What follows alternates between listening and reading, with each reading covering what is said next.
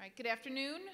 Uh, my name is Dr. Selico. Many of you know, know me. I'm the superintendent of schools. So it's uh, good to see all of you. I know we have our, I believe, our upperclassmen here today. So this should be uh, a different kind of conversation than we have had at middle school and even with our freshmen and sophomores that um, you know you are number one on the brink of becoming adults so the consequences you know for your actions are going to be very severe soon, right, as, as we enter adulthood.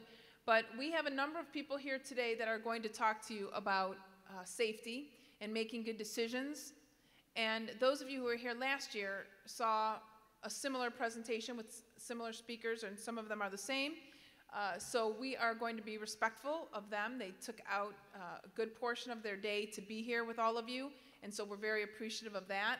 And one of the things that you're going to see here today, we're going to start with um, officers, and we're going to move all the way to judge. So what that means is when you get in trouble, and hopefully you never do, but you start with the officer and you'll see the process that it takes in order to see what the consequence is and how it ends with the judge and what some of those um, things that happen uh, that, that you've done and what the consequences mean for some of those actions. Now, again, I hope that we never get to that point. That is from the legal standpoint. You know from the school standpoint, as superintendent, unfortunately, some of you have had to visit me. It's not many, thankfully, but if you are in a lot of trouble at school and you do something quite severe, you end up in my office where you can be expelled from school for up to one school year, depending on your infraction. Then from me, most likely, you end up in the court system. So we don't want that for you.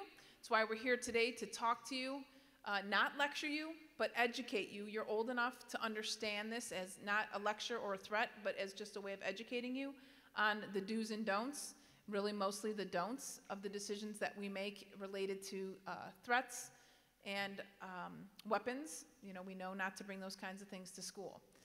So it is my job as superintendent to make sure you are safe and secure and feel good about coming to school and don't have to worry about bullying or harassment. And so that is also included in some of our conversations here today. So with that, I'm going to introduce you to our speakers today. And one I'm going to begin with is uh, Mr. Gesford is our new security supervisor, so he will be around the district.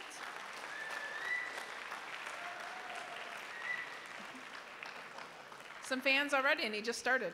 Um, we have Officer, our SRO, Officer Davis.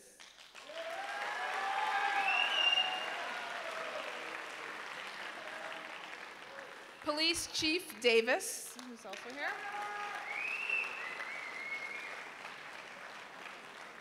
We have FBI Special Agent Kurt Durker is here.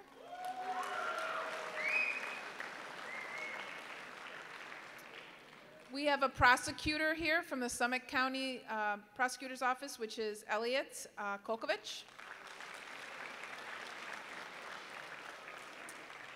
And finally, we have Judge Lisa Coates from Stow Municipal Court. All right, thank you again. I'm going to expect nothing but the best um, from you, especially as upperclassmen, you know how to sit and listen. So I'm going to be real appreciative of you, eyes forward and being respectful uh, listeners. So thank you very much. I'm going to turn it over to Chief Davis.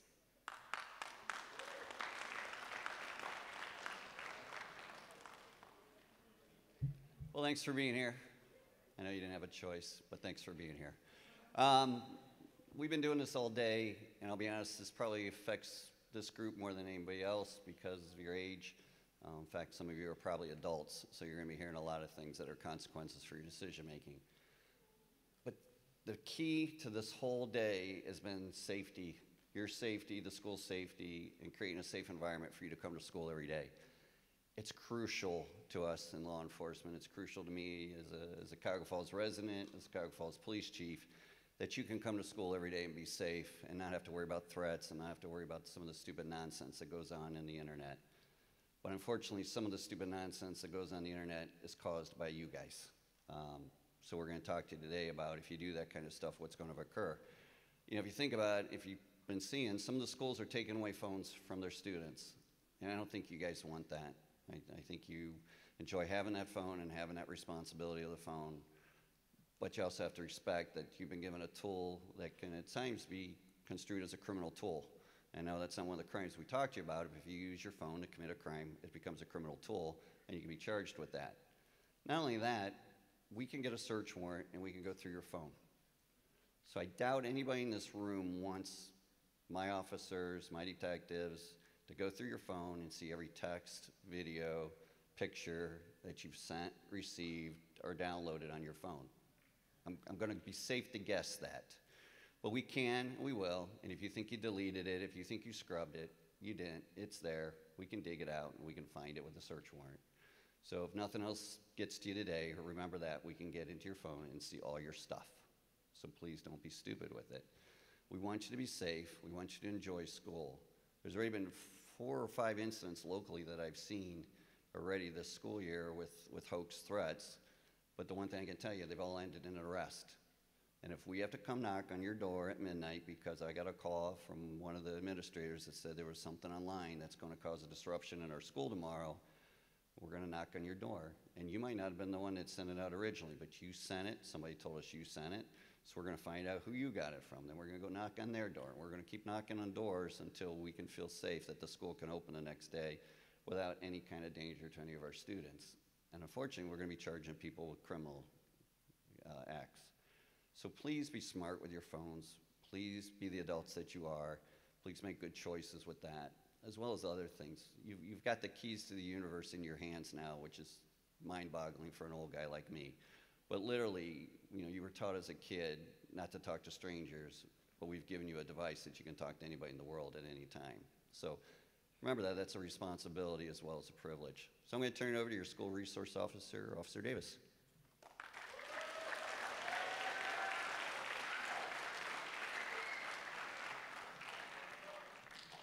Good afternoon. We are going to treat you guys differently than we treated the freshmen and the sophomore and the students at Bolich and Roberts. You guys are young adults, especially you seniors. You're 17 or 18 years old. Take what you hear today to heart because, like Chief Davis said and Dr. Selico said, this affects you guys the most. You guys, if you're not 18, are going to be 18 shortly. This will affect you. If you get charged with a crime at the age of 17 or 18, it's going to affect colleges, jobs, your personal life. So think long and hard before you guys send that picture, send that text, do what you're going to do with your cell phones. And it's a privilege to have your cell phones during the school day. In Akron, they don't have their phones anymore. They come into school, the school takes their phone. They get it back when they leave for the day. So the district right now is allowing you guys that privilege of having your phones throughout the school day. Let's keep it that way. Um, a couple things to talk about. I think the year's been off to a good start. Uh, some things that do concern me, kind of on a frontline basis. Uh, let's make sure that we're coming into school through the right doors. Let's make sure that we're leaving the school through the right doors. Um, I still see doors being propped open. Um, I see students opening the door for another student because they're late for class. It only takes five seconds to leave that door open and somebody come in the school that we don't want in the school. There's a reason we do what we do. There's a reason you guys come in and sign in or sign out with Miss Schaefer. We need to know who's in the school at all times. Seniors, juniors, we expect the most out of you guys, right? So set the tone for the freshmen and the sophomore, sophomores. Just so there's no misunderstanding, I'm going to read something to you real quick. This is from the Ohio Revised Code. This is inducing panic. No person shall cause the evacuation of any public place or otherwise cause serious public inconvenience or alarm by doing any of the following initiating or circulating a report or warning of an alleged or impending fire, explosion, crime, or other catastrophe, knowing that such a report is, uh, I'm sorry, that such report is warning is false. Uh, no person shall threat, threaten to commit any offense of violence, and no person shall commit any offense with reckless disregard of the likelihood that its commission will cause serious public inconvenience or alarm. Basically, what that means do not send any text, social media threat on TikTok, Snapchat, Facebook, whatever you have. Even if it's a joke, we will find out who you are, and you guys can be charged with the crime. If you're 17 or 18, there's a good chance you get charged as an adult for that crime. And to expand on what Chief Davis talked about, I spent the two years prior to being the SRO back in the Detective Bureau. If we think there's evidence of a crime on a cell phone, we can take that cell phone. We will lock it up in an evidence locker, and then we will write up a search warrant. We will take that search warrant to Judge Coates and explain to Judge Coates what we have and why we want to look through that phone. If she agrees with us, she signs off on the warrant. We get the phone out of evidence, we extract all the information that's on that phone, everything pictures, videos, snaps, TikToks. We have access to it all. Even if it's been deleted, we still have access to it. So, if you're under the age of 18, we're telling mom and dad. All right? Does everyone understand that? Once we have that evidence, we take it to a prosecutor. Uh, in your case, we'd more than likely take it to a juvenile prosecutor. However, that juvenile prosecutor might say, you know what? Let's refer this to Summit County, even if you're 16 or 17. Then we deal with Elliot Kolkovich, downtown Akron. It's a different ballgame for you guys at your age. All right? We all good on that? I think you guys know I'm pretty laid back, but we take this stuff seriously. Dr. Selico, Mr. Gesford, the chief, and the entire police department take your safety very seriously. We don't mess around with it. So, the pictures we're going to take a look at, some of the pictures were from last year. I know the initial reaction is to giggle, but it's not funny. This is going on all over the country. These pictures are being posted by kids your age and even younger. Imagine waking up, grabbing your cell phone, pulling up TikTok, and seeing something like that. And it says Cuyahoga Falls High School. Are you guys going to school that day? But here's the problem we're running into. Instead of you guys letting us know, you guys are sharing it. Let's not do that either. If you guys see anything like this, you need to let us know. Call the police department. This one actually happened in the district last spring. A young student just created a TikTok video, had a bunch of screenshots, did a little song and dance to it. Can everyone read that? Gum and gun. He thought it was funny. Sent it out. A parent saw it in the middle of the night. Uh, Special Agent Dirk will talk about this in a minute.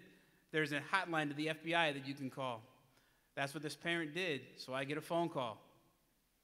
Five o'clock in the morning. That's not the way to start the day, right? So we're knocking on her door at six o'clock in the morning, letting this parent know that her child had done this. Uh, there were school consequences. If that student was a little bit older, there could have been legal consequences. Again, if you guys see something, let Mr. Smith, let me know, let a teacher know, let your parents know. With all that being said, uh, Special Agent from the FBI, Kurt Durker.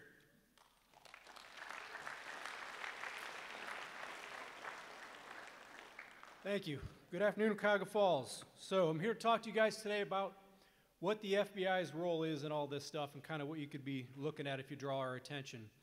So as Officer Davis alluded to, we have a National Threat Operations Center located in West Virginia. So what happens is when one of these posts goes out and somebody decides to notify us about it, it gets sent to this National Threat Operations Center. The folks that work there are very skilled and adept at quickly getting uh, subpoenas or whatever other legal process they need to track down whoever it was that made these postings. And they get it through exigent requests, which, which means that they make exceptions to expedite the subpoena to get the information back. So they'll quickly get the information, and then they'll identify what geographic area in the country that the posting came from, and then they'll send that lead to a specific field office, to a specific agent, will grab his or her buddy, and then we'll go knock on a door, and then you're meeting two FBI agents for the first time. So this stuff is highly, highly traceable and highly trackable, okay? So that's what we see on the lower end are these little one-off postings like this that draw our attention, and we take very seriously. When this first started, we would go out, knock on doors, and give warnings, okay? But the more and more this has gone on, law enforcement has less and less patience for it. So we're starting to see people get charged with these cases. A lot of times the juveniles will get charged in the state system, okay? If you're an adult, you'll get charged and it gives you exposure to us in the federal system. And if you watch any TV show or you talk to a lot of people that have been arrested, they do not want to be charged federally on a case. They will ask, can you charge me with this state? Because they don't want federal charges because they are, they're heavier, okay? So do not expose yourself to getting a charge because you forwarded or made one of these postings. Okay, the other thing that we see on the larger end, the bigger scale, is the swatting. Who here knows what swatting is? All right, a lot of you guys have probably heard of it. That is when you make that fake 911 call alleging that there is a shooting at a school, a church, or something going on at a house. When you do that, a lot of times people try to anonymize how, the, how they're making those calls. They think they can, but we now know how to track specifically who made those calls. We have the appropriate contacts, we have everything we need to trace that swatting call back to the person that made the call. And the, the local jurisdictions are running out of patience with these things. And if the person is under 18, these local jurisdictions are charging these people. And in one case, a local kid here, 16, in Medina, was just charged as an adult because he called another state in another state and made a swatting call, prompting a law enforcement response, making officers turn those lights on, sirens, run, go through red lights in a hurry to get there, thinking that they're going to roll up on the scene of a violent encounter. What do they get? They get a peacefully assembled school, okay? So you get an officer who's amped up at this level, showing up at a school, and it's not funny, okay? I train these, these officers and agents in these tactical responses, and we get them ready to go and prepared to handle these incidents. And it's not funny when they get sent out to something, all right? So don't do any of this stuff, guys. Just be careful, be smart. The last thing I'm going to talk to you about before I hand it over is probably the most important thing you're going to hear from me today. And I've said this at every, every assembly I've spoken at. It's sextortion. Who here knows what sextortion is?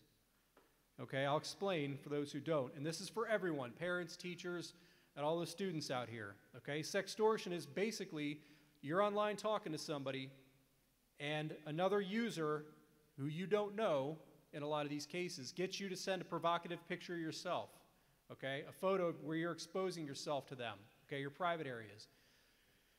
They're taking that photo then, and they will threaten you once they have it that they're going to start sending it to all your friends and contacts, your parents and your relatives, unless you send them money, okay? So they're extorting money from you. In a lot of these cases, kids are panicking because the embarrassment. They don't want that provocative photo of them being sent out to all their friend groups. So what do they do? They start sending money. And these people are professional scam artists, okay? Many of them are in other countries. Some of them are operating in the continental US. But chances are, if you're talking to this young girl online and she's sending you pictures of her, herself, or you're talking to a handsome young guy online, chances are those pictures, it's some old guy sitting behind a computer, okay? It's a scammer. Guys, do not send these photos of yourselves out online, okay? Do not put yourself in a position to be extorted, all right, in that way. If you do, or if you have, please talk to an adult, okay? A lot of people have, heard, have here have heard about the unfortunate case in Streetsboro with a young man who had all the promise in the world, but one of these scammers was so convincing that they backed this young man in a corner, he thought there was no way out, so he took his own life. We don't want you guys to do that, guys. So avoid putting yourself in that position in the first place. But if you do, or you have found yourself in that position, please, please, please, please talk to an adult. We will help you through that situation, okay? It is not going to ruin your life. We can help you through it. But let's start by avoiding that stuff. All right, guys? Thank you for your attention today. Right now, I'm going to turn it over to Elliot Kolkovich with the Summit County Prosecutor's Office. Thank you.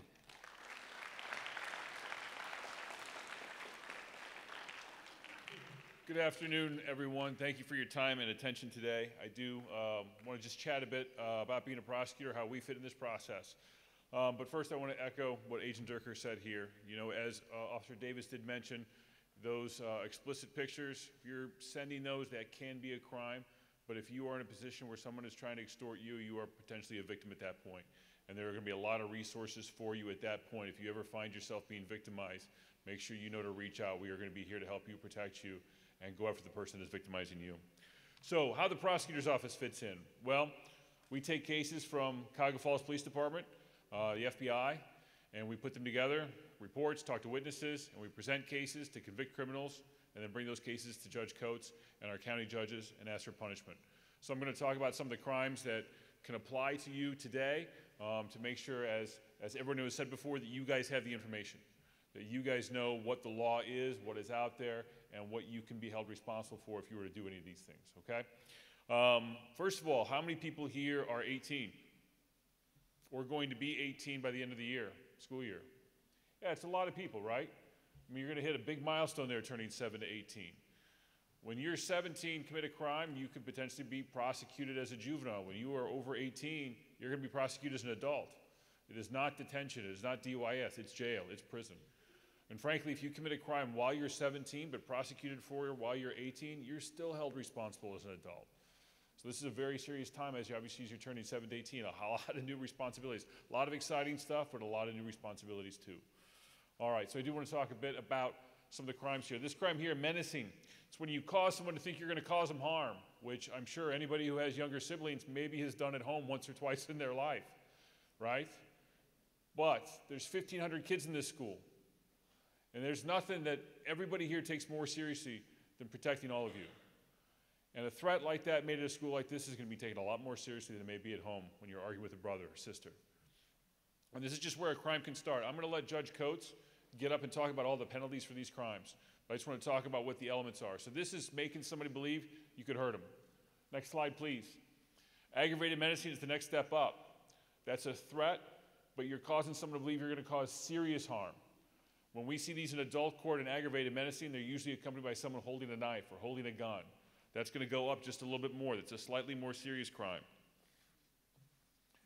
Telecommunications harassment. This is going to be kind of encompassing any of that menacing I just talked about, except it's done, it's done through a phone.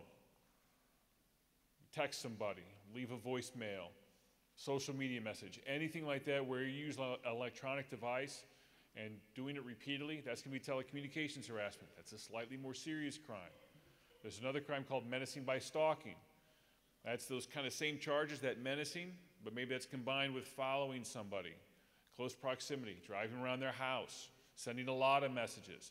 That's going to be a slightly more serious crime. And you can see how quickly these things elevate. And again, Judge Coates will talk about those penalties. Last one here is most serious crime we talked about. And just as Officer Davis said, we've seen these cases come by our office.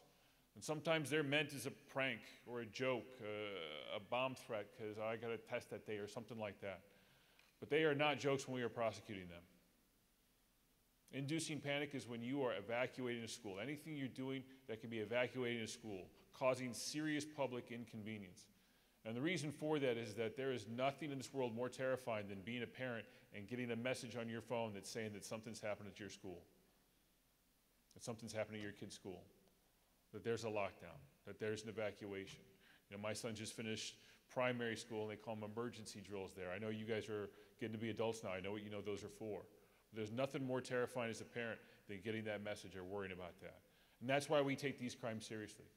And we want to make sure that you guys have all the information you need to avoid ever coming across us. As I like to say, it's great being here. I hope I never see any of you people again.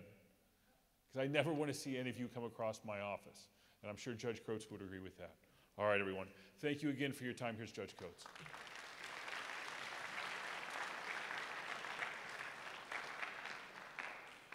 Good afternoon, Cuyahoga Falls. I am the last speaker before your freedom for the day. I don't know if you have more classes or not, but I'm probably the holdup.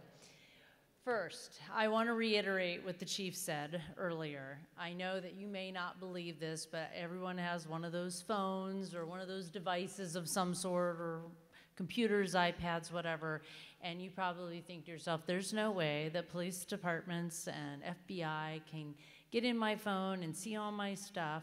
Well, if they've got probable cause, to believe there is something going on, some kind of threat, some kind of crime, some kind of photo, anything that leads to a crime, they can come to me and they can ask me for a subpoena or a search warrant to search.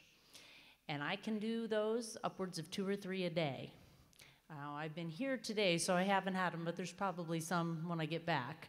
But I'm just telling you, if you don't believe what the officer's saying, I'm telling you that it does happen and it happens regularly. So if you don't want people seeing things on your phone and you know it's not right to do, please don't do it. okay? Whether it's photos, whether it's I'm going to bully somebody or threaten somebody or whatever it is, okay? That's number one. Number two, um, you know, I, I, I'm glad I'm seeing you in this uh, situation. I do not want to see you, and most of you are getting very, very close to being adults. So if you get in trouble as an adult, there's a very good likelihood you're going to cross paths with me in my neck of the woods, which is the courtroom. And I'd much rather educate you today than to have you standing in front of me um, and having to uh, impose a sentence on a, on a crime. So I'm hoping you're listening carefully. I'm not threatening you, but I am going to tell you what the consequences of some of these um, offenses that um, our wonderful prosecutor just went through today. Um, I'm going to go over some of the consequences you could face as an adult if you were if you were charged and pled or found guilty of these crimes. Menacing is a crime of violence. That was the one where you, um, you uh, allow somebody to believe you're going to cause them physical harm. As an adult, that's a misdemeanor of the fourth degree and could carry with it up to 30 days in jail. Aggravated menacing, if you remember, um, that was described as um, believing that you're going to cause serious physical harm to somebody. So that's where you're um, threatening somebody with a knife or a gun or something uh, of a weapon. Uh, and that's a misdemeanor of the first degree. A threat, just a threat that I'm going to come over with a knife, could cost you 180 days in jail. Okay? So just think about that. You didn't do anything to anybody. All you're doing is saying, I'm threatening you that I'm going to seriously harm you. And that is enough to give you six months in jail. Menacing by stalking, as you heard um, uh, Elliot indicate, um, that's a pattern of conduct. You're, you keep um, following somebody and you keep harassing them, and it's a, it's a pattern over and over where you're doing it. Um, this includes your cyber stalking type of scenarios. It can start as a misdemeanor of the first degree, but with a prior conviction, or with a threat, or with trespassing on a location, or with the minor as a victim, so somebody under 18 as a victim uh, somebody with a history of violence with a victim or involving the deadly weapon, it's a felony of the fourth degree and it could carry with it up to 18 months in prison. Again, another offense of violence. Uh, telecommunications harassment. Um, our prosecutor went over that as well, and that's where you use that device to harass somebody. You keep calling, or you keep bothering them, or threatening them in some capacity. Um, telecommunications harassment can start as a misdemeanor of the first degree, up to 180 days in jail. It can go all the way up to a felony of the third degree, which can carry with it up to three years in prison, 36 months. So I want you to understand these have huge consequences. And all you're doing, you haven't pointed a gun at anybody, you haven't shot anybody. You do understand, it's just saying something is enough.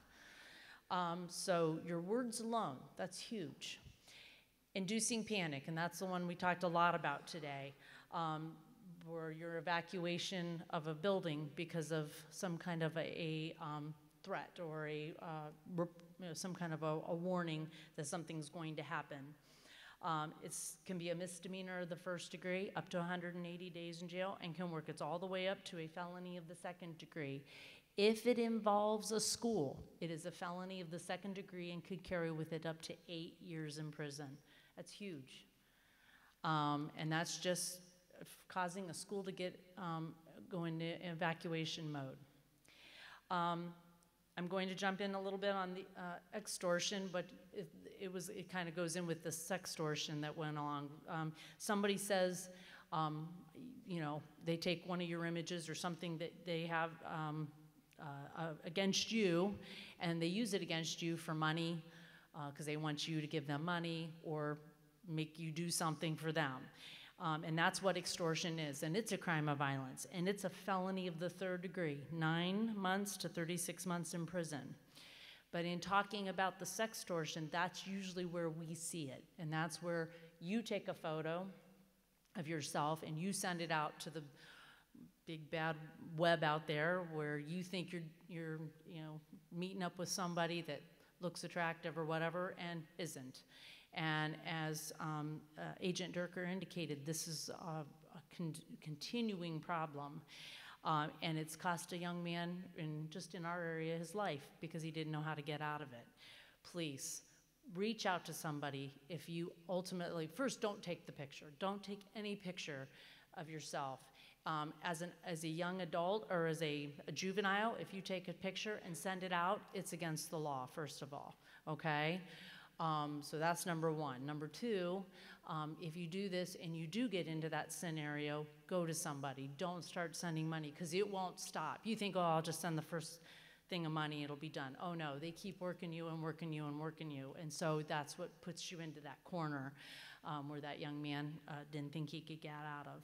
The other thing is sexting itself. So I had a situation in my court a few years back where a young lady, um, uh, underclassman in high school, took a picture of herself trying to get the attention of some senior um, young men.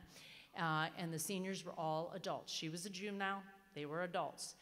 But when she sent it, um, she got in trouble because that's against the law to send that of herself. But in addition to that, she sent it to these guys and they spread it around like, look what so and so just sent me. And so they started to spread it.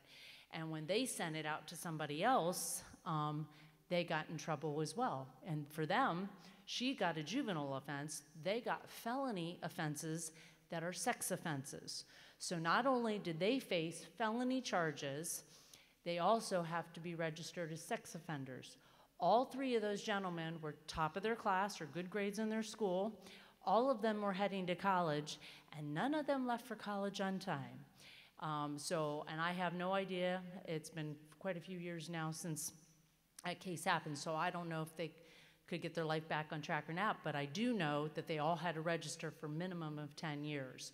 So they are still sex offenders under the law right now.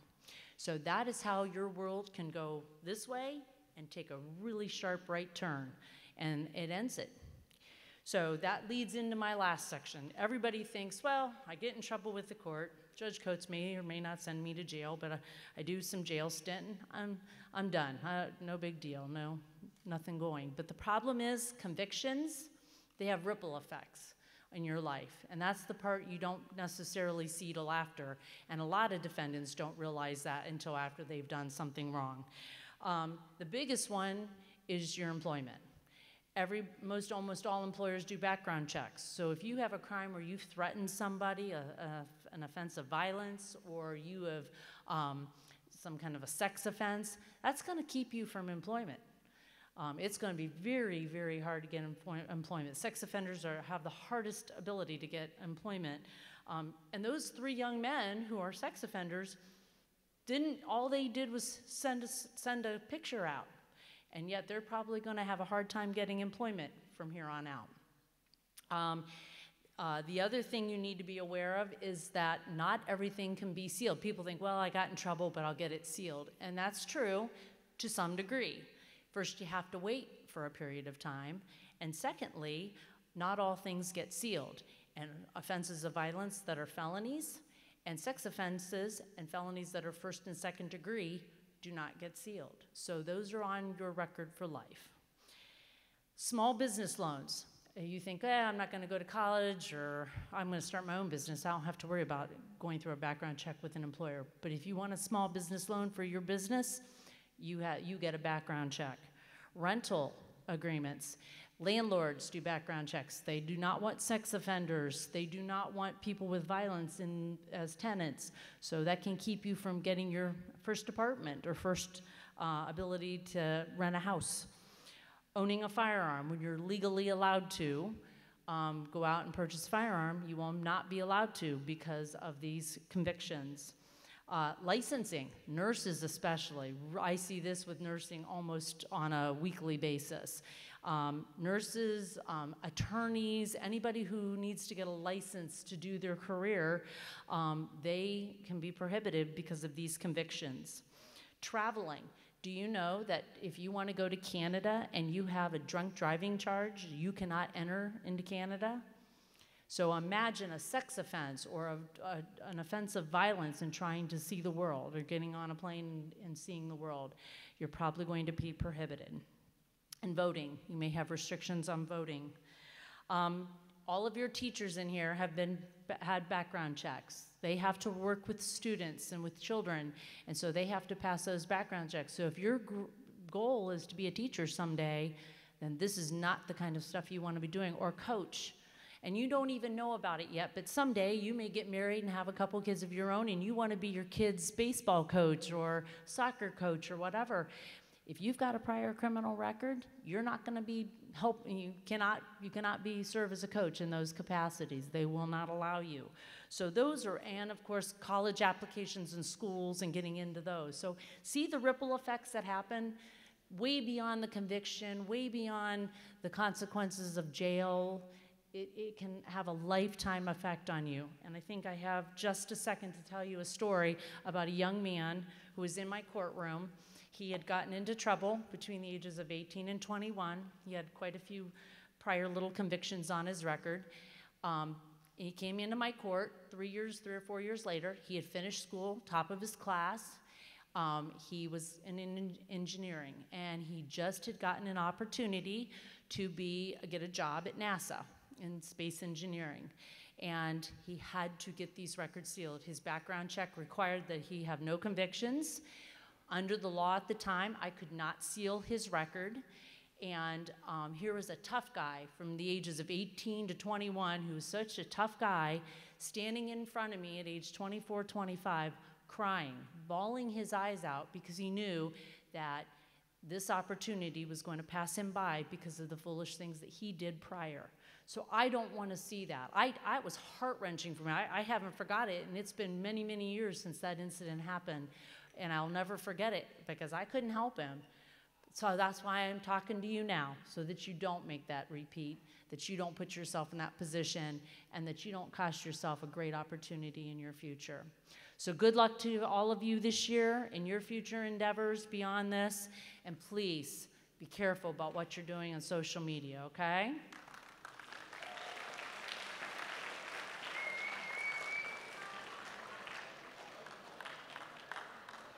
Okay, hey, real quick before we leave.